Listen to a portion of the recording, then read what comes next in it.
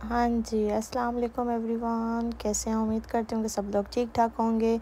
जब मौसम जो है यूके का तो बहुत ही ज़बरदस्त हो रहा है। काफ़ी दिनों से जो है वेदर काफ़ी ज़्यादा हॉट गर्मी हुई हुई है काफ़ी ज़्यादा। तो हम लोग भी आज निकले थे ऐसे ही टाउन में वॉक करने के लिए।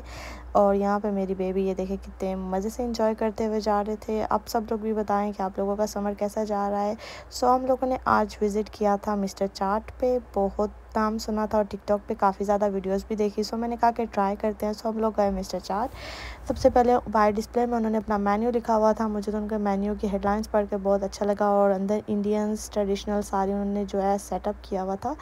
उसके बाद हम लोगों ने मेन्यू डिसाइड किया और सबसे पहले मेरी नज़र पड़ी पानी पूरी पे तो हम लोगों ने ऑर्डर की पानी पूरी इंडियन में डिश में हमने डोसा ऐड किया था, मसाला डोसा। मोमोज़ फ्राइड राइस की थी और साथ में हमने ऑर्डर किए थे समोसा चाट। सो इन्जॉय किया इसको फ़ूड बहुत यमी है तो मस्ट ट्राई कीजिएगा आप लोग भी अगर आप बोल्टन टाउन से हैं। तो हमें याद रखिएगा, अल्लाह हाफिज़।